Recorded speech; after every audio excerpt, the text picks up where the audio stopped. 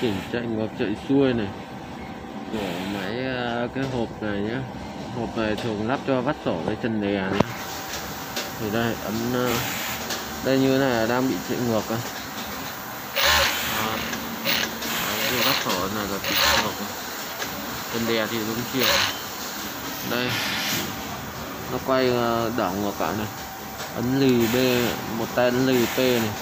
Một tay ấn nút cộng này. Rồi đẩy lên B2 này. Ấn P để vào này. Để một. Rồi, ấn P này. Ấn S để thoát ra này. Đấy, chiều nó lại quay ngược lại đấy. À.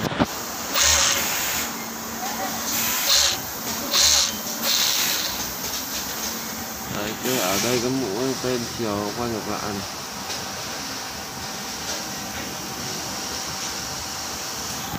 Đấy nhá nó quay ngược lại. Nhớ nhá cái b đây này ấn lì p này.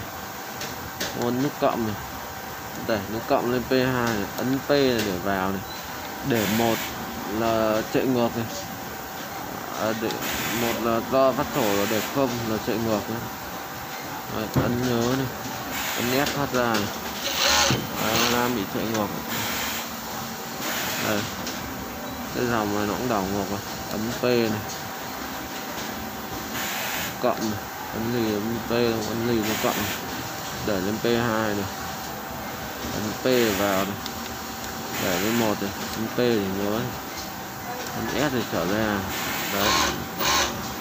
Đó là chạy ngược chạy xuôi nhá. Của cái hộp này này.